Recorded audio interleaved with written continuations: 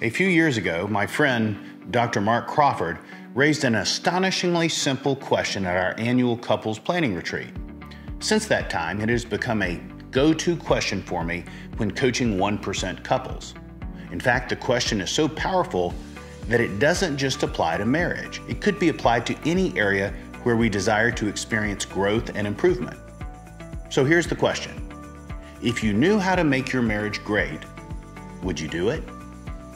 Here it is again. If you knew how to make your marriage great, would you do it? As Mark explains, as much as we don't want to admit it, most of the time we come up short of our goals not because of a lack of information, but because of a lack of action. Think about it. There is no deficiency of information or data on how to improve your marriage, your money, or your health. Instead, there seems to be a substantive shortage when it comes to initiative, when it comes to doing something wise and productive about the conditions we find to be disagreeable and unfulfilling.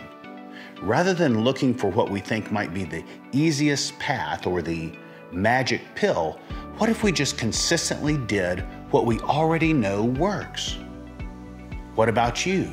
Are you good with things staying the same in your marriage for the rest of your life? Chances are you already know what you could and should do differently to make your marriage what God wants it to be, right?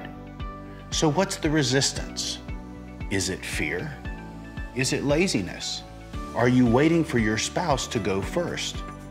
Or maybe your marriage just isn't a big priority at the moment. Whatever your reason for procrastinating, you can no longer plead ignorance to the causes, the consequences, or the solutions. Your success and happiness in the months and years ahead will be unduly influenced by how you answer Dr. Crawford's question. So here it is one more time. If you knew how to make your marriage great, would you do it? This is Tommy Newberry because mindset makes all the difference.